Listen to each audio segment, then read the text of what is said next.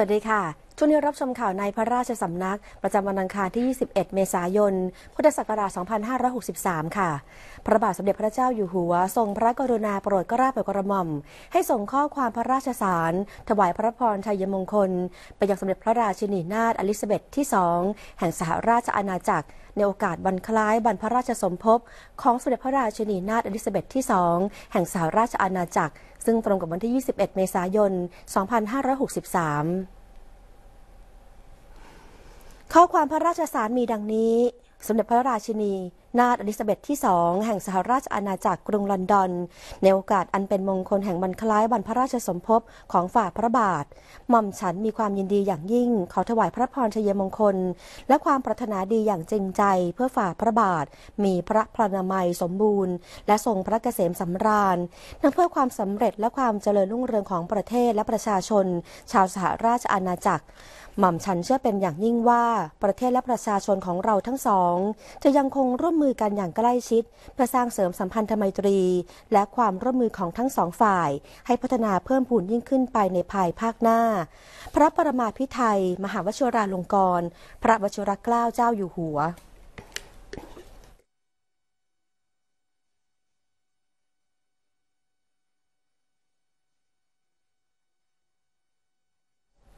ส มเด็จพระอริยวงศาคตยาน สมเด็จพระสังฆราชสกลมหาสังฆปรินายก ประธานพระคติธรรม เนื่องในวาระ 238 ปี กรุงรัตนโกสินทร์ 21 เมษายน 2563 ความว่า เมื่อพระบาทสมเด็จพระพุทธยอดฟ้าจุฬาโลกมหาราช ทรงสถาปนาพระบรมราชจักรีวงศ์แล้ว ทรงประดิษฐานหลักเมือง กรุงรัตนโกสินทร์เมื่อวันที่ 21 เมษายน 2325 ทรงสามารถนำพระบรมราชวงศ์พร้อมด้วยข้าราชการและประชาชน ให้พร้อมเพรียงกันเข้าสู้ศึก ทั้งภายนอกและภายใน แก้ไขฟันฝ่าวิกฤตการณ์ของบ้านเมือง ฟื้นฟูพระพุทธศาสนา ตั้งแบบแผนธรรมเนียมชำระกฎหมาย เสริมสร้างศิลปวัฒนธรรมและปลุกจิตวิญญาณ ของความเป็นราชอาณาจักรอันรุ่งเรือง ให้กลับมาดำรงคงมั่น นับแต่นั้นตราบถึงบัดนี้ได้ 238 ปีแล้วความร่มเย็นเป็นสุขแห่งกรุงรัตนโกสินทร์เป็นตัวอย่างที่พิสูจน์ให้เห็นประจักษ์ว่า กรุงใดจะประดิษฐานอยู่ยั่งยืนนานโดยเรียบร้อย กรุงนั้นต้องยึดมั่นในความสามัคคีเป็นคุณธรรมพื้นฐาน ความสามัคคีที่แท้จริงจะเกิดขึ้นได้ ต้องเริ่มจากจิตใจของพลเมืองแต่ละคน ในอันที่จะแผ่เมตตาอย่างจริงใจ อดทน ไม่ผูกโกรธ ให้อภัย และปราศจากอคติต่อบุคคลแวดล้อม บ้านเมืองใดที่เต็มไปด้วยพลเมืองผู้เพียบพร้อมด้วยความสุจริตทั้งกาย วาจาและใจ ย่อมทำให้บ้านเมืองนั้นดำรงมั่นคง อยู่ด้วยความสามัคคีเพราะฉะนั้นในเวลาที่บ้านเมืองกำลังเผชิญสถานการณ์อันไม่น่าพึงใจ ขอให้แต่ละคนลองหันกลับมาทบทวนตนเองว่า ท่านเป็นผู้มีเมตตา อดทน ใจเย็น รู้อภัย และละวางอคติในใจได้มากน้อยเพียงใด จากนั้นจงเร่งเพิ่มพูนคุณธรรมเหล่านี้ให้ทวียิ่งขึ้นในตน พร้อมเผื่อแผ่ไปสู่คนรอบข้าง ถ้าแต่ละบุคคลทำได้เช่นนั้น สามัคคีธรรมย่อมบังเกิดขึ้นโดยอัตโนมัติ แล้วความเจริญรุ่งเรืองย่อมปรากฏตามมาในทันที สมดังธรรมะภาสิทธิที่ว่า สัพเพสังสังฆภูตานัง สามัคคีบุธิสาธิกา ความว่า ความพร้อมเพรียงของปวงชนผู้เป็นหมู่ ยังความเจริญให้สำเร็จทุกประการ ขอกรุงรัตนโกสินทร์จงสถาพรสถิตประดิษฐานสมรรถภาพอันประเสริฐอยู่ตราบกาลปวสาร และขอประชาชนชาวไทยจงดำรงมั่นอยู่ในธรรม สามารถนำพาราชอาณาจักรให้ร่มเย็นเป็นสุข ภายใต้พระบรมโพธิสมภารแห่งพระบรมราชจักรีวงศ์สืบไป ตลอดกาลนานเทิน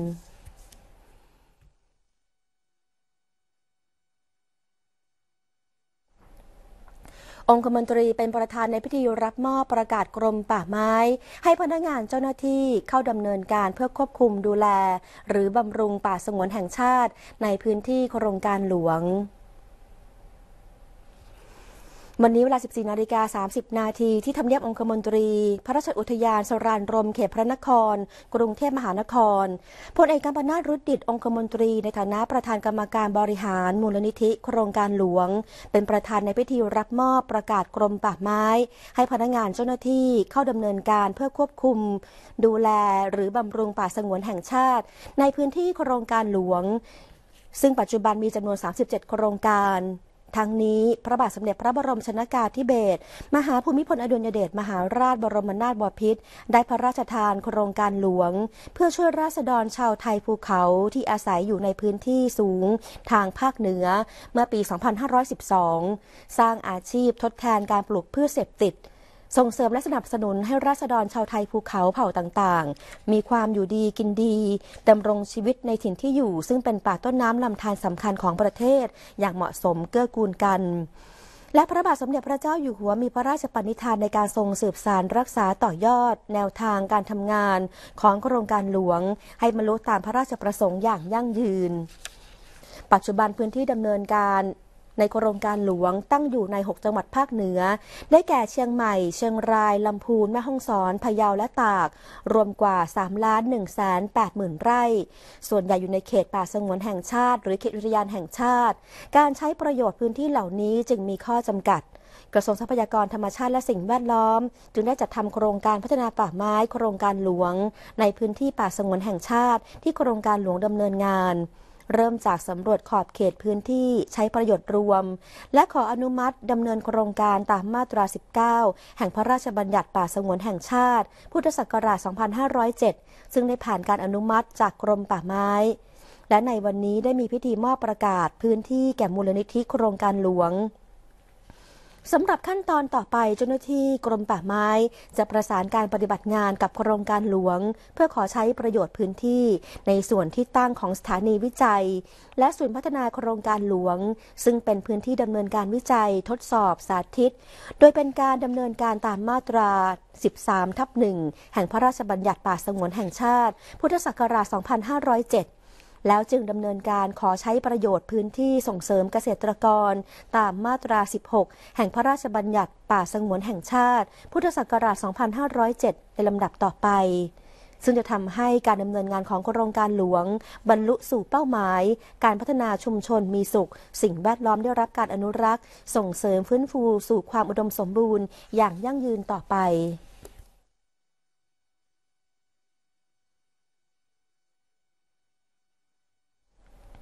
พระบาทสมเด็จพระเจ้าอยู่หัวและสมเด็จพระนางเจ้าพระบรมราชินี ทรงพระกรุณาโปรดเกล้าโปรดกระหม่อมพระราชทาน ถุงยางชีพพระราชทานแก่ประชาชน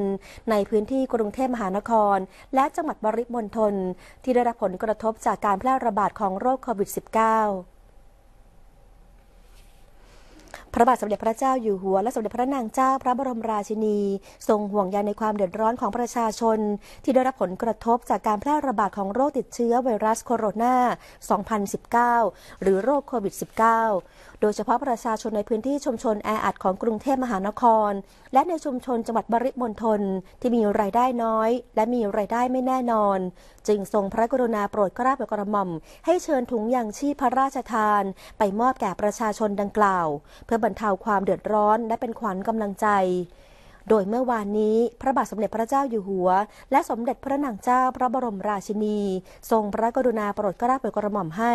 ศูนย์อำนวยการใหญ่จิตอาสาพระราชทาน ตามแนวพระราชดำรินำจิตอาสาพระราชทาน ตามแนวพระราชดำริ เราทำความดีเพื่อชาติศาสตร์กษัตริย์ เชิญถุงยังชีพพระราชทานจำนวน 3,792 ถุง ไปมอบให้แก่ประชาชนในพื้นที่จังหวัดนนทบุรี รวม 3 อำเภอ ได้แก่อำเภอบางกรวย 1,525 ครัวเรือน อำเภอบางบัวทอง 1,135 ครัวเรือน และอำเภอไซน้อย 1,132 ครัวเรือน อาทิ ชุมชนวัดสิงห์ ชุมชนวัดอุบลวนารามหรือวัดบัว ชุมชนปากคลอง 500 ริมคลองพระพิมล ชุมชนวัดบางไผ่ และชุมชนเทศบาลไซน้อย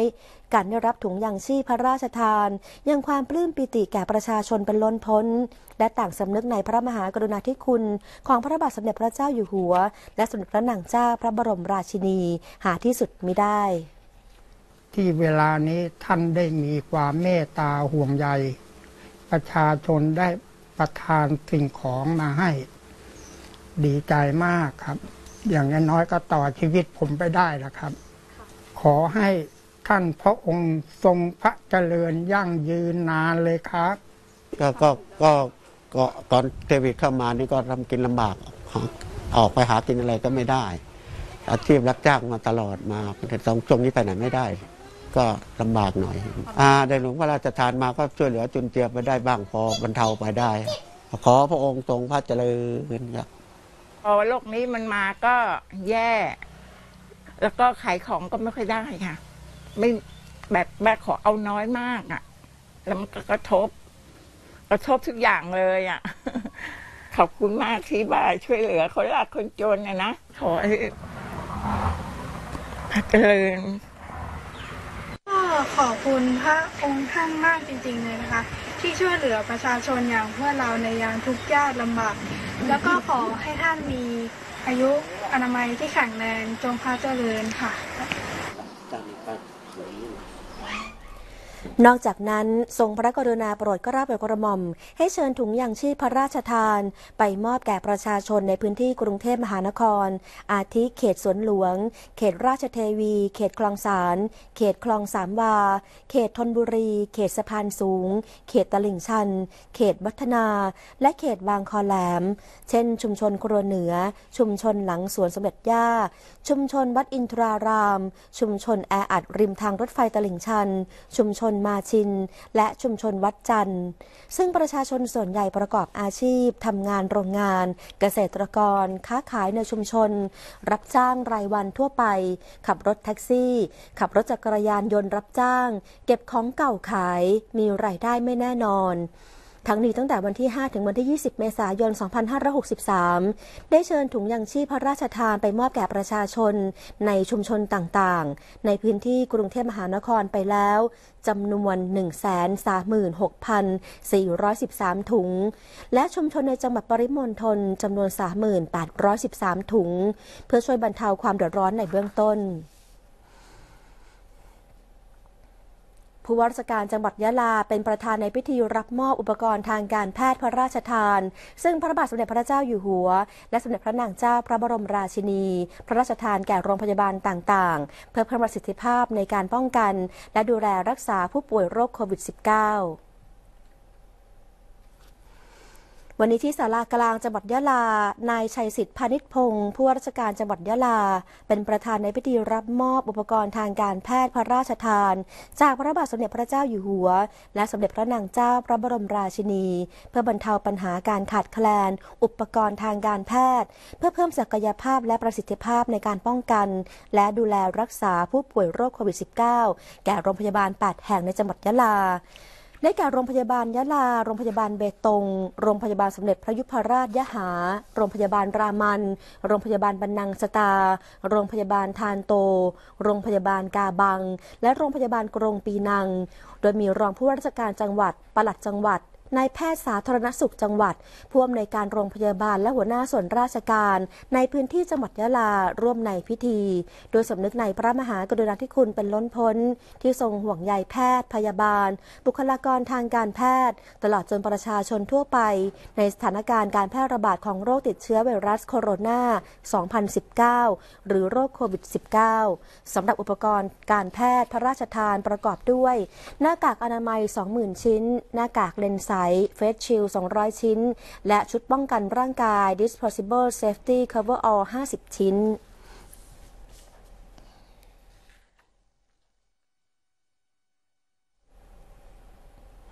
วันนี้ที่ศาลาประชาคมจังหวัดพะเยา นายกมลเชียงวง ผู้ว่าราชการจังหวัดพะเยาเป็นประธานในพิธีรับมอบ อุปกรณ์ทางการแพทย์พระราชทาน จากพระบาทสมเด็จพระเจ้าอยู่หัว และสมเด็จพระนางเจ้าพระบรมราชินี เพื่อใช้ในการป้องกันและดูแลรักษาผู้ป่วย โรคโควิด -19 ประกอบด้วย หน้ากากอนามัย 10,000 ชิ้น หน้ากากเลนส์ใสเฟสชิลจำนวน 120 ชิ้น ชุดป้องกันร่างกาย disposable safety cover all จำนวน 50 ชิ้น ซึ่งหลังจากนี้จะได้ทำการส่งมอบอุปกรณ์ทางการแพทย์ ไปยังโรงพยาบาลต่างๆ ในจังหวัดพะเยาต่อไป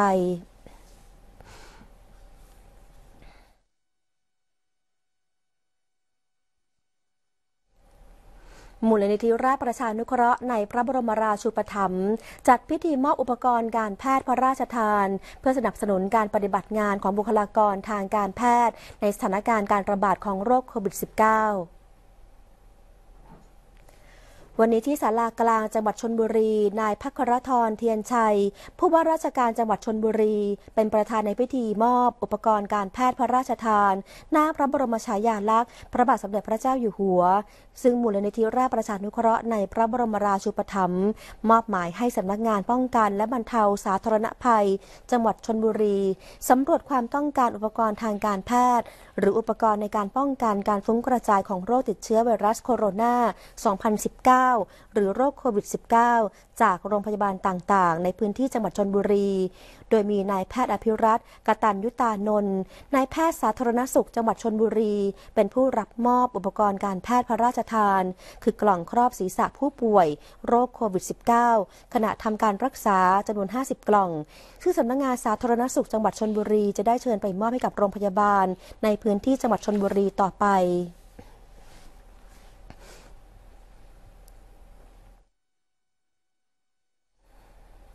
ผู้ว่าราชการจังหวัดยะลาเป็นประธานในพิธีรับมอบอุปกรณ์ทางการแพทย์พระราชทาน ซึ่งสมเด็จพระกนิษฐาธิราชเจ้า กรมสมเด็จพระเทพรัตนราชสุดาสยามบรมราชกุมารี พระราชทานแก่โรงพยาบาล 5 แห่ง ในพื้นที่จังหวัดยะลา เพื่อใช้ป้องกันและรักษาผู้ป่วยโรคโควิด -19 วันนี้ที่ศาลากลางจังหวัดยะลา นายชัยสิทธิพนิษพงศ์ผู้ว่าราชการจังหวัดยะลา เป็นประธานในพิธีรับมอบอุปกรณ์ทางการแพทย์พระราชทาน ซึ่งสมเด็จพระนิษฐาธิราชเจ้า กรมสมเด็จพระเทพรัตนราชสุดาสยามบรมราชกุมารี พระราชทานแก่โรงพยาบาล 5 แห่งในพื้นที่จังหวัดยะลา ได้แก่โรงพยาบาลยะลา โรงพยาบาลเบตง โรงพยาบาลรามัน โรงพยาบาลบันนังสตา โรงพยาบาลยะหา เพื่อใช้ป้องกันและรักษาผู้ป่วยโรคโควิด -19 โดยมีนายแพทย์สาธารณสุขจังหวัด ผู้อำนวยการโรงพยาบาล และหัวหน้าส่วนราชการในพื้นที่จังหวัดยะลา ร่วมในพิธี ทั้งนี้สมเด็จพระกนิษฐาธิราชเจ้า กรมสมเด็จพระเทพรัตนราชสุดาสยามบรมราชกุมารี พระราชทานพระราชานุญาตให้มูลนิธิชัยพัฒนา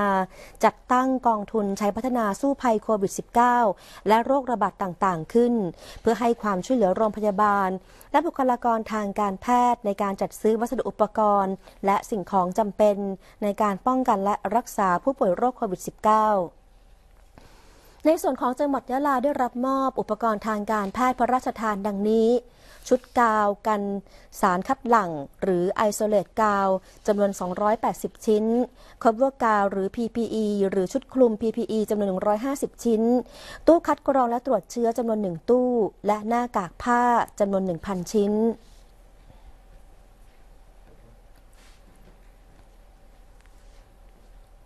จบข่าวในพระราชสำนัก ดิฉันสิริสวภาเอกเอี่ยมศิลป์สวัสดีค่ะ